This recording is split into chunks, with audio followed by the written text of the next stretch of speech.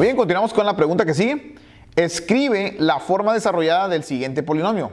Para ello, utiliza el teclado. En el cuadro blanco verás cómo escribiste tu respuesta. Esto es como muy similar al anterior, nada más que hay que tomar en cuenta lo siguiente. Ahora te aparece una expresión sumada. ¿Te acuerdas que te dije que había una multiplicada la anterior? Ahora es sumada, 2, 3x más y elevado al cuadrado o con una potencia 2. Pues trabajamos de manera distinta. Entonces vamos para explicarte aquí.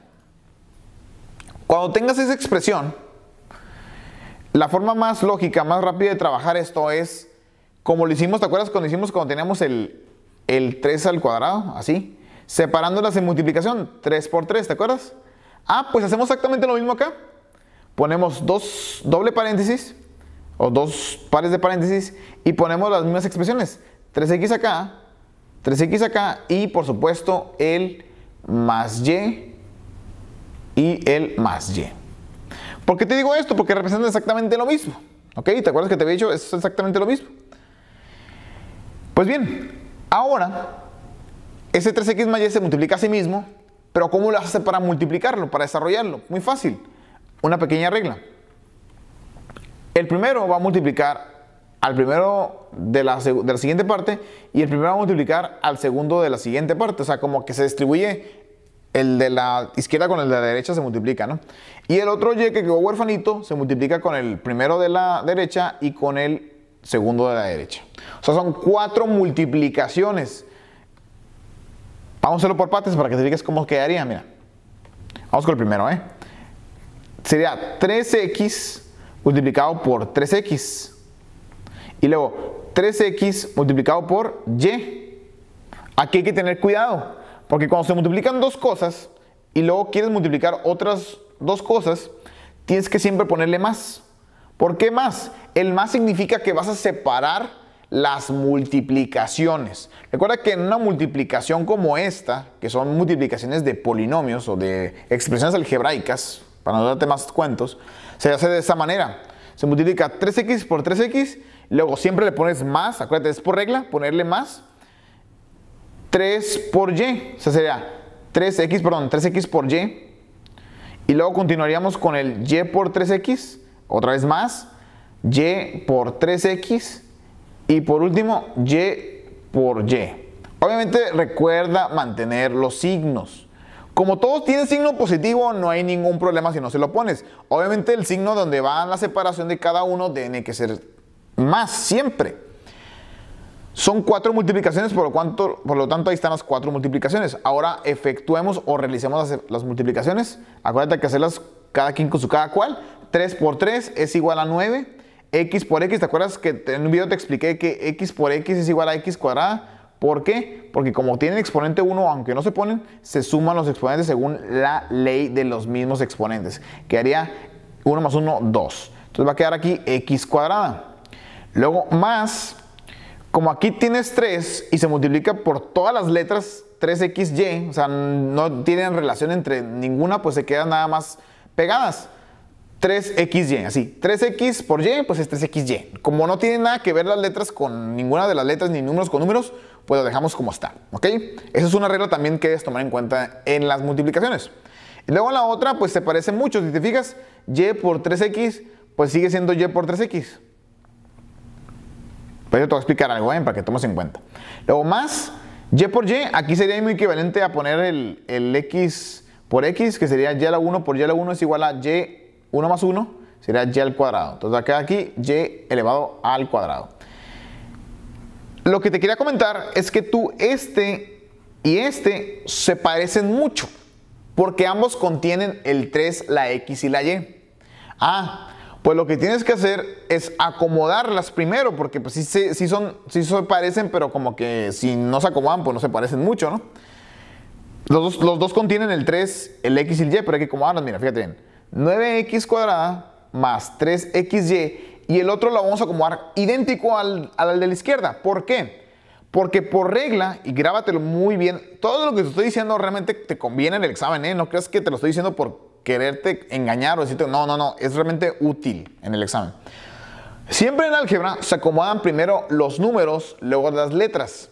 Esos números gigantes que aparecen ahí se llaman coeficientes. Luego siguen las letras por orden alfabético.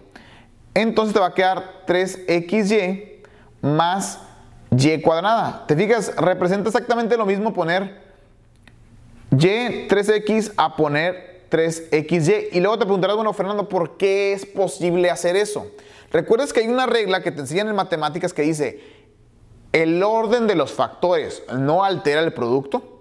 Repito, el orden de los factores no altera el producto. Si alguna vez lo escuchaste, pues sí, es correcta esa afirmación. O sea que tú pones las multiplicaciones y como te lo dije en el video anterior o en el problema anterior, cualquier letra, número que esté pegado, se multiplica. Entonces, si tú los mueves de lugar, no pasa absolutamente nada. Es más, si tú lo tienes como 3yx, sigue siendo 3xy. Si tú le pones inclusive a lo mejor x y3, también sigue siendo 3xy. El orden de los factores no altera el producto, son exactamente lo mismo. ¿ok? Por eso lo acomodamos de esa manera, porque también se ve de manera más bonita, más estético, mejor, se ve más maquillada.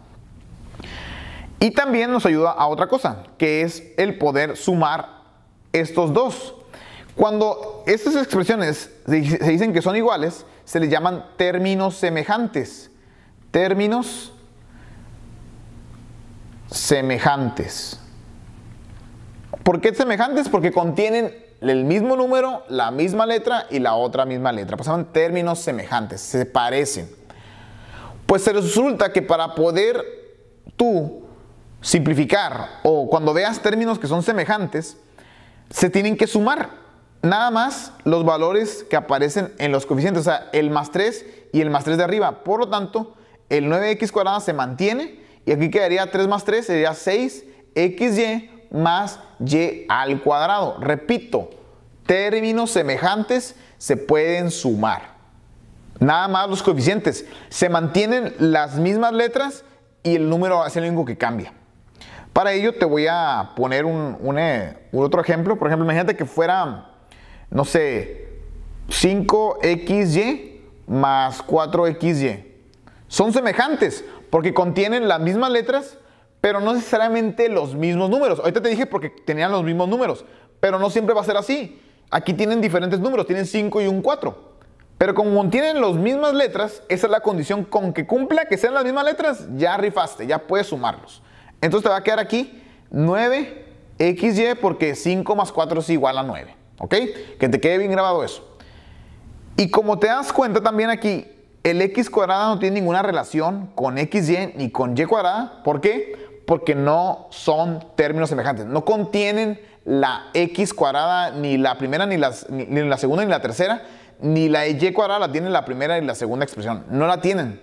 Son cosas distintas. Una es x cuadrada, la otra es x por y y la otra es y cuadrada. No tiene nada que ver. Por lo tanto, así se quedan. ¿Ok? Así se quedan. Si tuvieran relación las mismas letras, adelante hacemos la, simplificación de términos semejantes y ya. Pero como no, así se queda. Entonces, esto lo vamos a escribir en justo en las respuestas. 9 x, ya como aprendimos el comando, alt 94 para el exponente, 2 más 6xy, fíjate cómo te aparece ahí, más, por último, y elevado al cuadrado o a la potencia 2. Igualito, idéntico al pizarrón. Y listo, ahí está. Por favor, si tienes alguna duda, no dudes en preguntarnos. Porque sabemos que a lo mejor si no dominas muy bien estos temas, pues es muy importante que nos hagas saber para poder ayudarte lo mejor posible. Así que ahí está la respuesta y nos vemos en la siguiente pregunta.